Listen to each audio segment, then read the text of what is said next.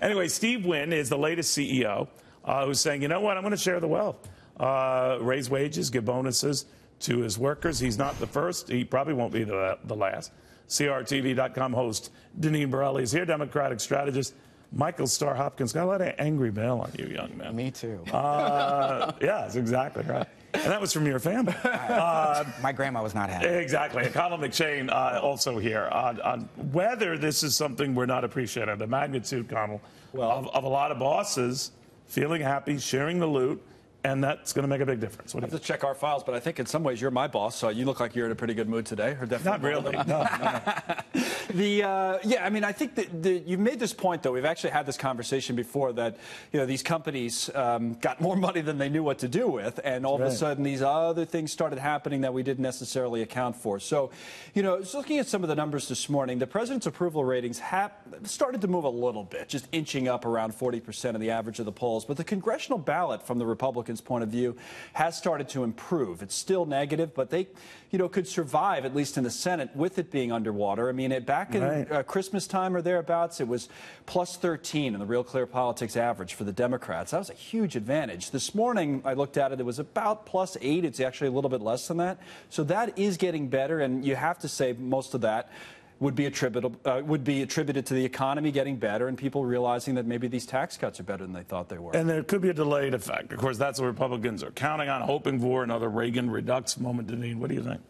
Well, I want you to be happy as well because I want to keep coming back on your show, Neil. But we're not having all of you. This guy is a problem, but maybe. Now, this is great news, I think, for all Americans. Even today, J.P. Morgan announced they're going to reinvest $20 billion You're in right. the U.S. That got lost in the sauce. It got lost in the sauce. Jamie Dimon, right. big Democrat, committing right. all based on tax cuts. That's right. So more jobs. They're going to provide more loans to small businesses. They're going to increase wages to their uh, low-wage employees. This is good news all around for all Americans. And if you're working at AT&T, Walmart, BB&T, you're getting bonuses, you're getting higher wages, other benefits that are coming right. down the pike as well. It's all good news for all Americans. Except Michael, who just constantly whines about it. now, Michael, uh, she, she mentioned J.P. Morgan Chase. They're increasing wages by roughly 10% for better than 22,000 workers. Absolutely.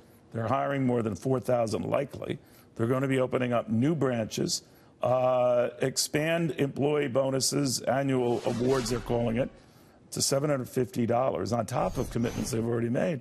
That's not bad. That's not bad. Those are the signs that we want to see. Democrats want to see. You don't want to see. We do. Democrats want to see a rising tide lift all boats. You don't believe. What we want is, you know, things like the minimum wage going up to fifteen dollars. And that's happening too. And it is, and that's that's something that I think all Americans. So what do you think support. of all the Democrats unanimously voted against this? Is that going to come back to bite them?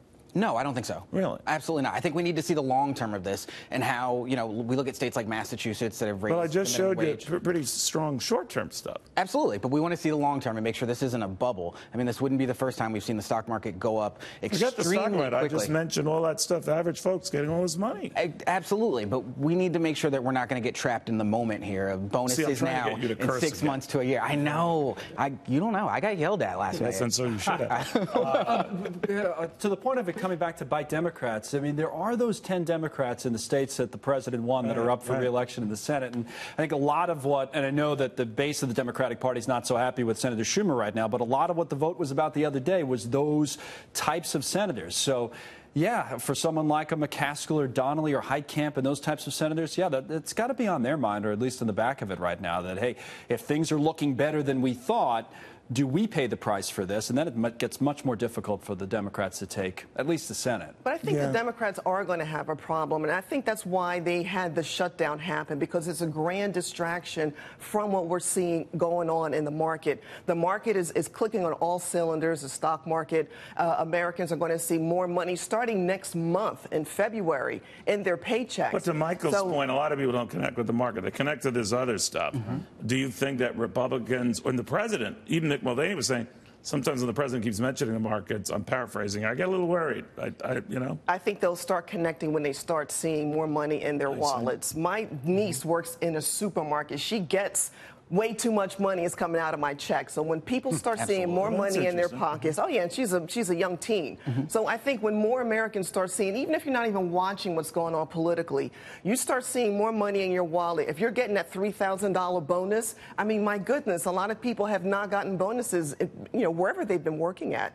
So Yeah. they're going to see the proof in the pudding, and I think the Democrats are going to have a tough time explaining why they did not support the tax cuts. What do you think of that? I, I mean, I think that is true. I think that if the economy gets better, then it'll be tougher for Democrats to make an argument as to the president not being an economic success. But people aren't just voting on their pocketbooks. That's definitely, you know, one Well, of if the they were, biggest. the president, to Connell's point, the president's poll numbers would be a lot higher. Right. Absolutely, I think that you know He some- hurts himself. He You still absolutely- make the argument that the president's essentially a bad guy. That'll be the Democratic argument, and but- try to keep Well, those I don't, I don't think it's low. just that he's a bad guy. I think it's also when you're talking about long-term viability, how we, uh, you know, engage with other countries around the world, how Americans are looked at, the moral imperatives that we deal with. I think people certainly vote with their pocketbook, but it's not Right. the only reason they vote. You But think I think Americans get so what? The French are leery of us? Do you really think so? No, but I think there's something to be said about other By the way, countries Macron laughing coming at us. the United States for a state Uh-huh. He is. It's going to What be. do you think of that? I mean, I hope I can get an invite. I'll hang out with Macron. Probably. I don't think I don't see the president inviting me, but No, no. if he's watching, come on.